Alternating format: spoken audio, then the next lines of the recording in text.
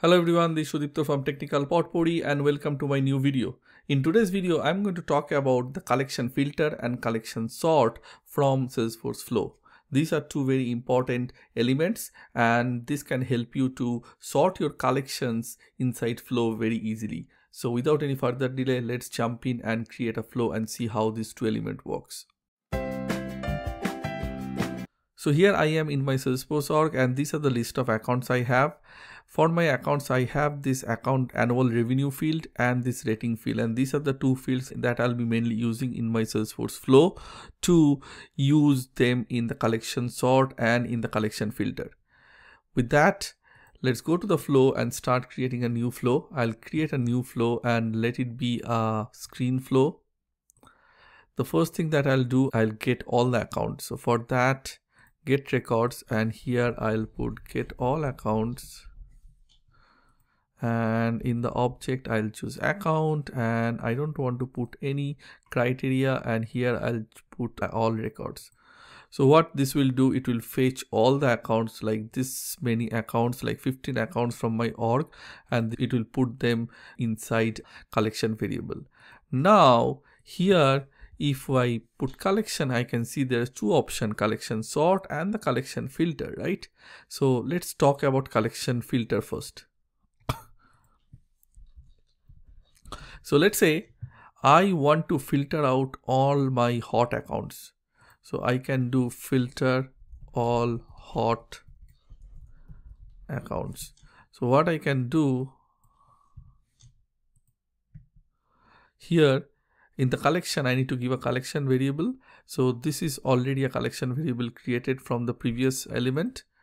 And here what I can choose is that rating equals hot done and let's save and give a name as test flow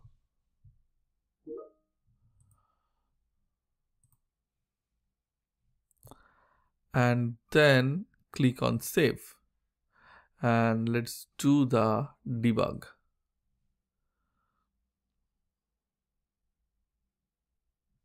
Run.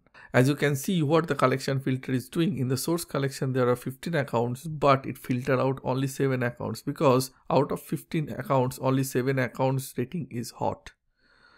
A similar way if I want to do not the hot let's say warm.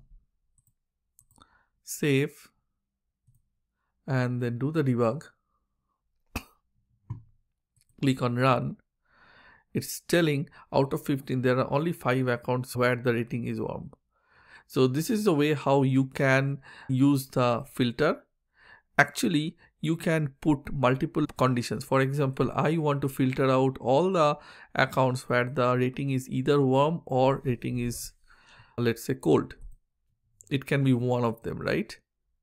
Cold. And then here i can choose its or. Like it can be either warm or it can be cold. And then save and debug.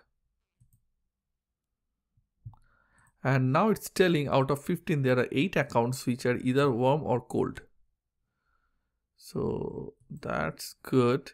Okay so this is how you can take advantage of your collection variable and filter out only the records that you need. Previously before this element you need to go through the loop and do all this thing but now with this one single element it becomes very easy to filter out only the necessary elements that you need. Okay so let's delete that and talk about the other one. The other one which i want to talk is let's say if I put collection, I get a collection sort. Filter is basically filtering out only the necessary records that you need. Sorting is basically sorting all the records that are present inside the collection based on some criteria. So let's do the sort. So here I have these 15 accounts. I want to sort them based on the annual revenue. Give it a name do sort. And here this is the one. The first sort that I want to do So I have to do annual revenue ascending and then click on, I have an option that do I want to keep all the initial elements from the collection or I want to get only like top five uh, accounts, right? So I can put top five. So what it will do out of this, it will give me only the top five accounts based on the annual revenue. Similar way, you can put multiple sorting. For example, first sorting is based on the annual revenue. Second sorting is based on the, mm, let's say, rating. And here I want to put a rating based on the ascending. So rating is basically warm, hot and cold. So it's alphabetical sorting. Or I want to give second sorting. I want to based on created date ascending. So it's basically latest top five accounts.